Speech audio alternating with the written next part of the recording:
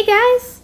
The Dub Dog DTA is officially over. I'm really excited because all of the characters got entries done for them, which means that they're all getting adopted, and I'm very, very happy about that. Now, uh, sorry for the really, really lazy art because I do, don't have much time anymore since it was like really rushed.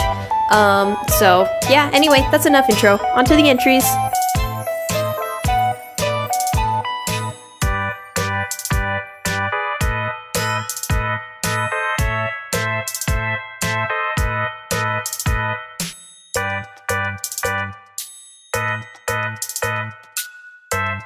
Those entries were all fantabulous. I loved every single one of them.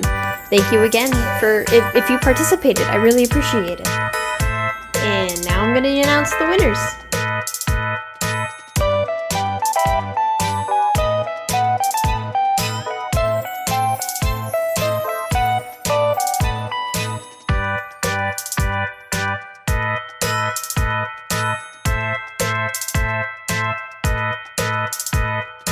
Congrats to all the winners! Again, sorry if you didn't win, but thank you for participating. I really appreciate it. Anyway, I gotta go. Stay fantabulous, my beans!